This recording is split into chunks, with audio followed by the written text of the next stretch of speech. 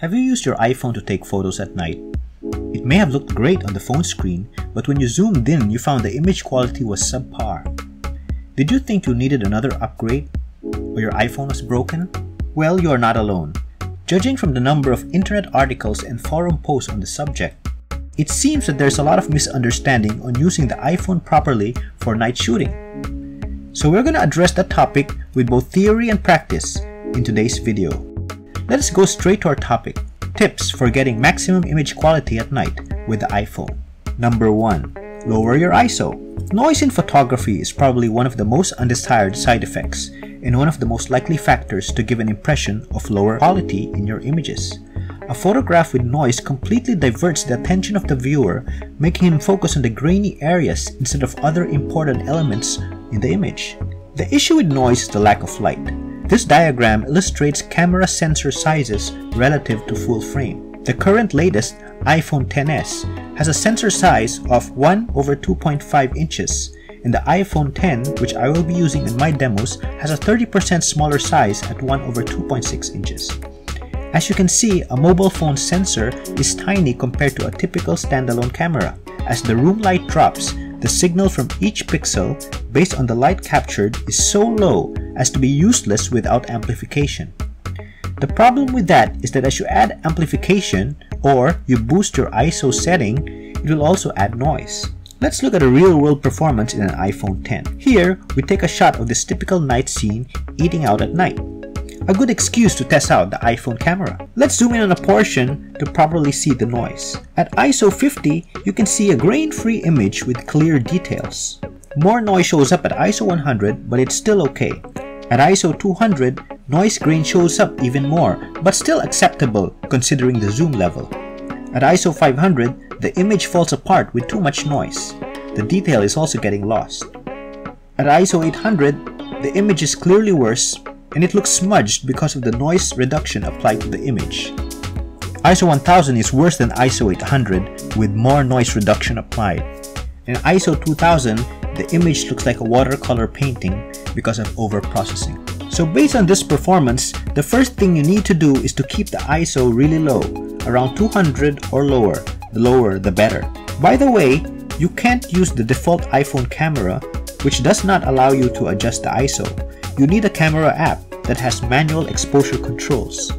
So just to demonstrate, here is adjusting ISO in the Pro Camera app. You have to click the ISO button and then use the slider to make the ISO level really low. But since you lower the ISO level, you also have to adjust the shutter speed to give the proper exposure. And just take the shot. Here's adjusting ISO in another app called Halide, which works the same way. So again, you have to tap the ISO button, adjust the slider at the top. Number 2. Use a tripod. Apple knows that most people shoot photos with their iPhone in their hand, so they've always kept the shutter speed above say 1 over 15th of a second. If you go slower, you'll start seeing blur due to the natural motion in your arm. At night though, 1 over 15 doesn't get you very far, so the iPhone has to pump up the ISO, and we've just seen the negative results that does. So to get great image quality, you have to lower the ISO and accept the long exposure. But to avoid camera shake, use a tripod. So let's take a look at some pictures taken with low ISOs at night. Notice that the shutter is around the slowest for the iPhone 10 at 1 third of a second. Without a tripod, you would risk a blurry shot. Here is another one. At ISO 32, you see that the shutter is set by the camera at 1 over 3 seconds. And here is yet another night shot, ISO 50, and it could go only 1 over 3 seconds. Number 3. Shoot in RAW. We've talked about the pros and cons of shooting RAW in a previous video, which I'll provide a link in the description. Just to summarize, capturing in the RAW format has drawbacks on the iPhone. It requires much more data storage than a JPEG file, around 4 times the storage, and that will result in more resources to store, transfer, and edit. However, when the night is low, its main advantage really stands out. As you can see, I'm editing this very underexposed shot. Luckily, it was taken in RAW. So you can use raw data to modify the image with much greater fidelity than is possible by JPEG or other compressed formats. So as you can see here, I'm adjusting the sliders um, to bring back some exposure to the shot. And you can see how nicely RAW recovers the image. Before, and after. So here's another shot which I'm adjusting and this is greatly underexposed and again just to demonstrate I'm going to try to recover this with RAW which contains a lot of data. Um, RAW is able to recover this shot as well even though it's vastly underexposed. Number 4. Use image stacking to reduce noise. So what if you have to handhold your camera at night and don't have the benefit of a tripod?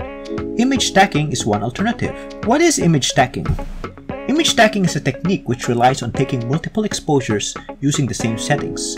Software is used to create an image based on the median of all stacked exposures. Image stacking is designed to reduce noise in high ISO situations.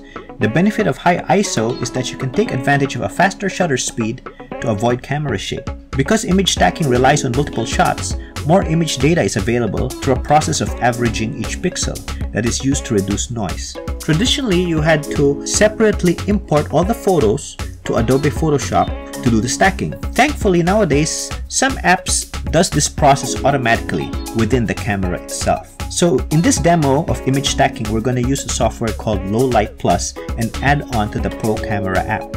This has to be purchased separately. Let's demonstrate Low Light Plus.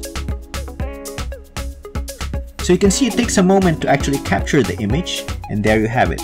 And so if you zoom into the image, you can see in the single shot, much more noise. At this shot is zoomed in at 300% and you compare it to Lowlight Plus, which has the benefit of multiple images and it's a much cleaner image. Let's look at another example. So in this underexposed shot, multiple images are taking a while to take and it's done and so we're going to compare now a portion of this. And you can see even at 30% zoom, because this was a very dark scene, the ISO was set by the camera at 2000, and you can see it's very noisy even at just 30% zoom. But for low light plus, you can see how much more noise-free it is. So thank you for watching. If you found this video helpful, do help us out by leaving a like, subscribing, or commenting below. Till the next video!